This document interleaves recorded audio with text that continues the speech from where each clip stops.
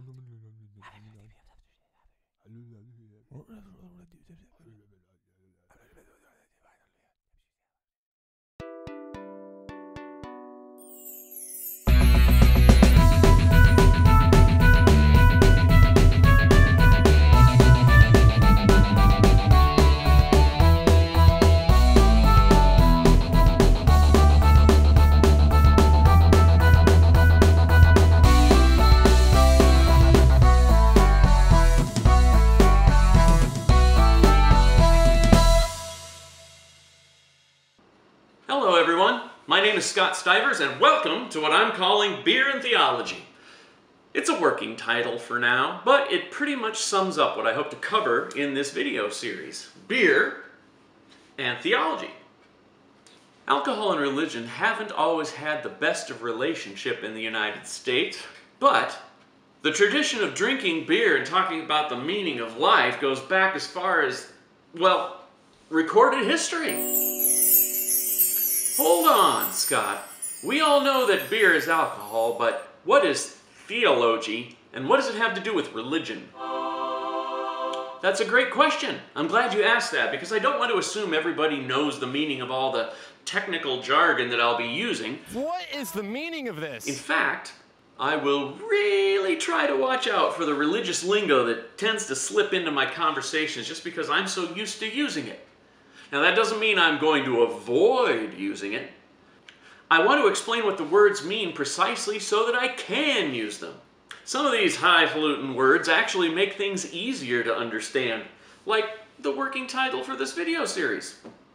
Theology is two old Greek words stuck together. In fact, a lot of words are old Greek words or old Latin words or old Greek words turned into Latin, turned into something else and translated backwards, stuck together. Where was I? Oh, right. Theology. Theo, or theos, is God, and ology is the study of a particular subject. Now, I couldn't very well call a uh, YouTube video series Beer and the Field of Study and Analysis that treats of God and God's attributes and relations to the universe, divine study, of the things of religious truth, divinity, and so on. I think beer and theology go together pretty well. Who hasn't seen a TV show or commercial about people drinking beer and talking about life and the universe and the meaning of everything? Tell us what you know, Norm. God's in his heaven and something, something, something. How about a beer? Yeah, that's it. And heck, a ton of jokes start with a priest, a rabbi, and a minister walk into a bar. With theology being so hard to define, it sure is nice that beer is so easy to define. We all know what beer is.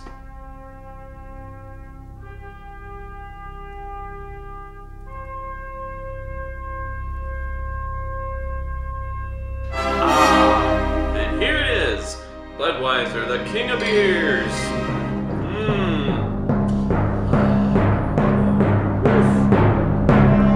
There we go. There it is. Beer. What? Ale? Lager?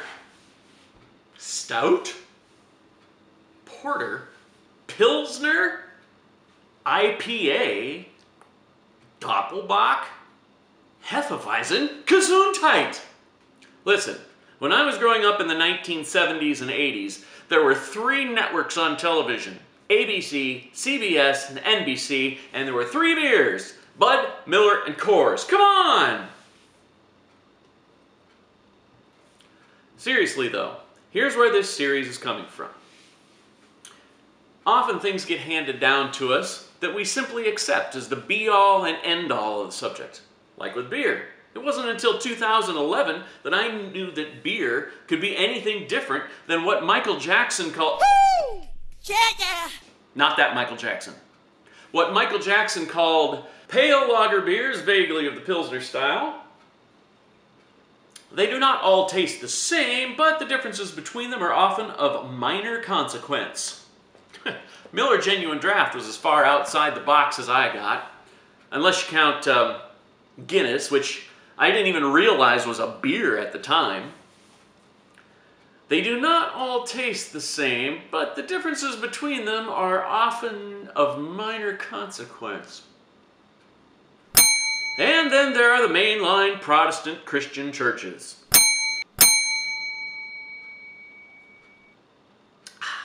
In my small hometown, there were Lutherans, Methodists, Baptists, Congregationalists, and I guess I'll count the Episcopalians, which I didn't even realize were Protestant at the time.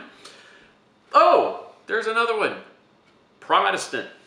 In the year 1517, a Catholic monk named Martin Luther started a religious movement. It was huge, called the Reformation, which resulted in lots of people leaving the Roman Catholic Church and starting their own churches.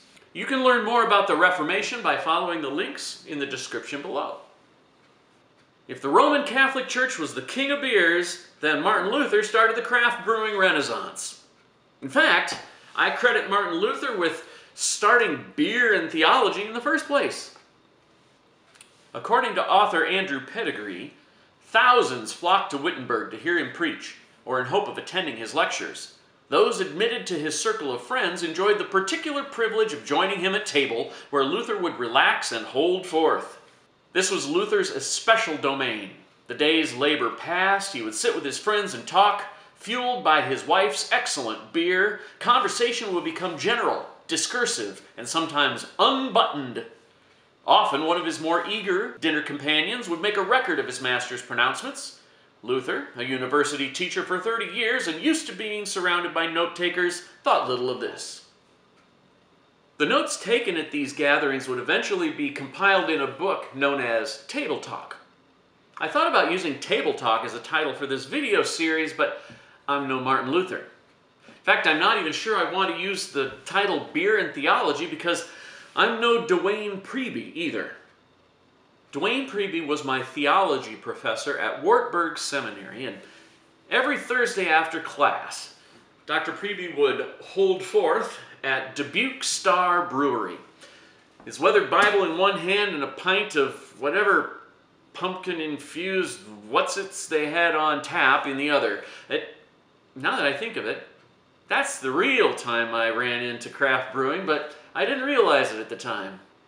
Apparently, there are a lot of things that I don't realize at the time. Hmm. My classmates and I would talk with Dr. Priebe about what it means to be a person. What does it mean in the Apostles' Creed? What, that Jesus descended into hell? Uh, what will eternity in the kingdom of God look like? We'd touch on theology, philosophy, physics, evolutionary biology, and anything else that came to mind. Like the discussions at Luther's table, they were general and discursive, but I never saw Duane Priebe become unbuttoned. Nobody wanted to see that.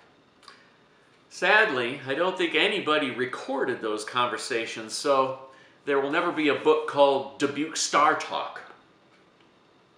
Dubuque Star Talk, the next generation. Dubuque Star Talk, the next generation. No. Yeah. Dubuque Star Brewery closed in 1999. I've always looked back fondly on those beer and theology sessions, but I wanted to add my own twist. The top four selling beers in the United States are Bud Light, Coors Light, Budweiser, and Miller Lite. That represents over one third of the entire market. Now, Of the top 10 beers in the United States, Anheuser-Busch InBev owns six of those 10, and of those six, three are what are called light beers. Now, these days I tend to agree with what beer guru Jeff Alworth says when he says, light beer is meant to be drunk ice cold, fast, and with as little attention as possible. Ice cold, fast and with as little attention as possible could also describe the way that we reflect on religion in our society these days, too. And so, I commend to you Schell's Keller Pils. Now, I chose Schell's because it's the second oldest family owned brewery in the United States. The first oldest, and actually just plain oldest brewery in the United States, is called uh, Yuengling in Pottsville, Pennsylvania.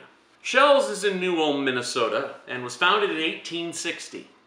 It survived the Dakota Uprising of 1862, Prohibition from 1919 to 1933, and the rise of the mega breweries through the 1970s.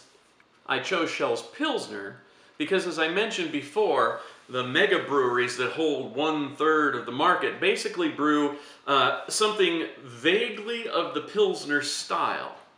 Schell's describes its brew as a crisp, dry Pilsner with firm hop bitterness our Keller Pils is unfiltered and full of character. The addition of Callista hops lends a fruity aroma of citrus, stone fruits, and berries. Golden in color and balanced in flavor, it stands tall against its lighter-bodied, low-hopped relatives.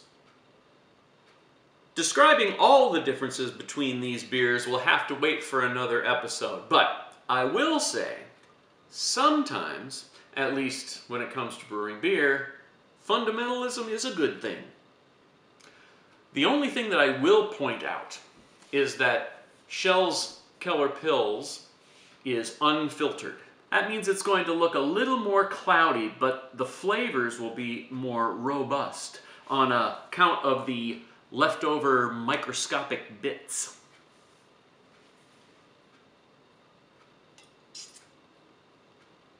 Mmm, microscopic bits. So, what I hope to do in the coming series is talk about beer and theology. The talk will be about theology and about beer. There will likely be some surprising connections. The talk will be general, discursive, and, uh, knowing me, probably very unbuttoned. Just saying. When it comes to beer, I'll be focusing on brew pubs that are local to me. And for me, that means the Twin Cities of Minneapolis, St. Paul, and the surrounding suburbs. And hey, if I run out of brewer pubs around here, I'll go on a road trip. Responsibly, of course. I'll say as much as I can about the brewery and their beer, as well as the history and processes for beer making and beer brewing in general. When I can, I will put links to the breweries and their beers and also to any books I reference in the description below. I'm not pretending to be an expert or authority on the subject just yet. So, if you have any corrections or opinions, or if you'd like to share some experiences with beer, brewing, or drinking, put them in the comments below. Now, when it comes to theology, I have a shelf full of books downstairs that I hope to discuss, but I want this to be a collaborative effort, so if you have any theological topic or a person or a book that you would like me to feature, just put those in the comments below as well.